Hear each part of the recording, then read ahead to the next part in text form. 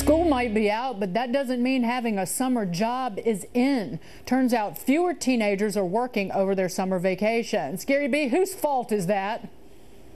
Well, I think it's the teens and it's the parents, to be honest with you. My parents kicked me out during the summer since I was time of 13. I hate to get on to my, uh, hey, get off my lawn mode, but I can remember from the time I was 13, I caddied for two years. I worked in a supermarket for three years. I was a teamster in a cardboard box factory for a year. I was a shoe salesman in a sneaker, uh, one of those mall sneaker places for a year.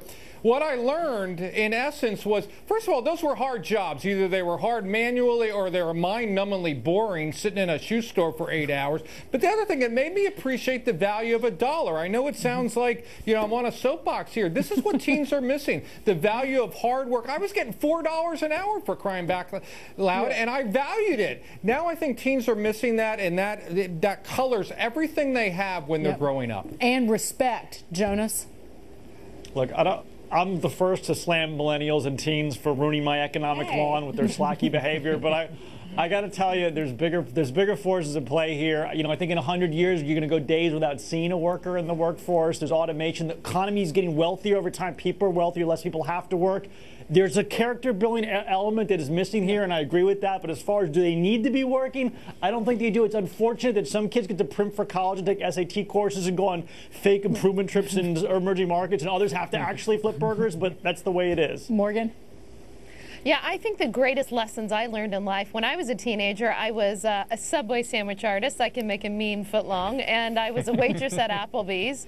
And these are the things. I mean, these these, these things teach you uh, client skills. I mean, when you have yep. rude people when you're a waitress, this teaches you, prepares you whenever you're in your 30s and dealing with clients that are difficult. So um, even though the workforce is changing, I think it's really important that teenagers work and parents yep. get your teenagers out to work. Yeah, it used to be more than 50% of teenagers work during the summer, Julie, and it fell below that about 15 years ago.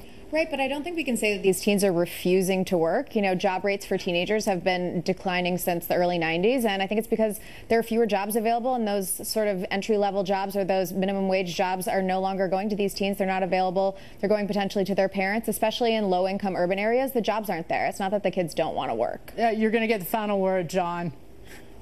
Jonas, I love you and you're my friend, but what alternative universe do you live in? Do they need to work? You're dang right they need to work. People are supposed to work. And kids that are refusing this entitled generation absolutely drives me nuts. These inner city kids who can't find a job, that's a real problem. That's a different issue. Those that choose not to work, that's terrible right for our country. Right That's here, right. I choose to have a robot instead of children. No, right here, helping ladies try on bathing suits in a fitting room at a store at the beach. Try that one on got me here, sort of.